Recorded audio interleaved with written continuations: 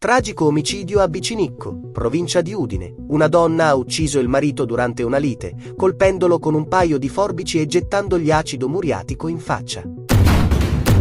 The New Stories. La tua informazione libera. Dopo l'aggressione, ha prontamente chiamato i soccorsi e confessato il crimine ai carabinieri. Successivamente, però, ha cessato di parlare e si è avvolta nel silenzio. Gli investigatori stanno cercando di comprendere la natura del legame tra la donna e la vittima. Inizialmente si era ipotizzato che i due, Stefano Jurig, 43 anni, di Bicinicco, e Silvia Comelli, 42 anni, di Reana del Royale, fossero coniugi. L'omicidio è avvenuto nella residenza di proprietà dell'uomo.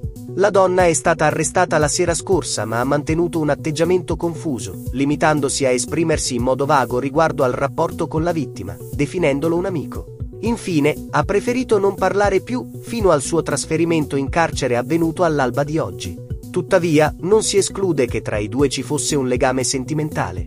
Al momento, le motivazioni dell'omicidio rimangono sconosciute e sono al centro dell'attenzione degli investigatori del nucleo investigativo di Udine e della compagnia di Palmanova, sotto la guida del sostituto procuratore Andrea Gondolo.